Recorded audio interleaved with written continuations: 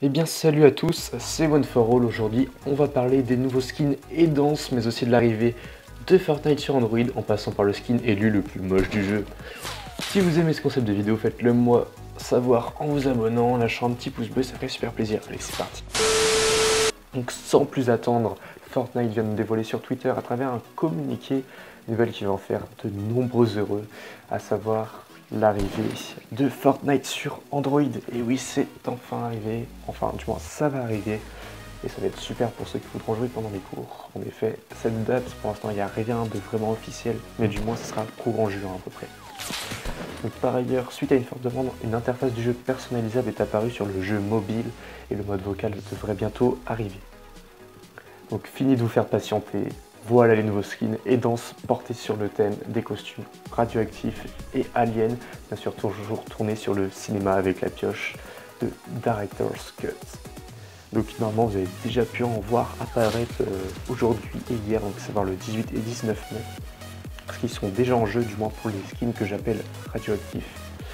Vous pourrez par ailleurs également noter euh, que beaucoup de rumeurs disaient que le skin Super Production allait être celui qui est en l'occurrence celui Venturion, donc euh, qui a la, euh, une sorte de voile blanche. Euh, normalement, vous le voyez à l'écran, il est au centre. Et bien ces nouveautés, justement, nous prouvent bien le contraire. Donc personnellement, j'ai hâte d'en savoir plus sur le sujet. Donc franchement, n'hésitez pas à me dire dans les commentaires, me dire si vous vraiment vous voulez que je vous fasse d'autres vidéos sur le sujet, que j'approfondisse le sujet du skin légendaire qui va être offert pour les détenteurs du pass de combat qui ont réalisé les défis. Donc n'hésitez pas à me le dire. Ensuite, il y a bien sûr, avec cet ensemble, des nouvelles pioches et sacs à dos que personnellement, je les trouve tous réussis. Tout comme par ailleurs les skins, même si celui Venturion un petit peu moins. Mais sinon, après, quant aux danses, j'ai vraiment hâte de voir ce que ça va donner dans le jeu, particulièrement la danse Deep, qui me paraît bien étrange, en même temps bien sympathique à regarder. Donc en cette période du Festival de Cannes et surtout en baladant sur Reddit, j'ai par ailleurs trouvé le skin décerné attention, le plus par la communauté du site, enfin du moins des joueurs de Fortnite faisant partie du site.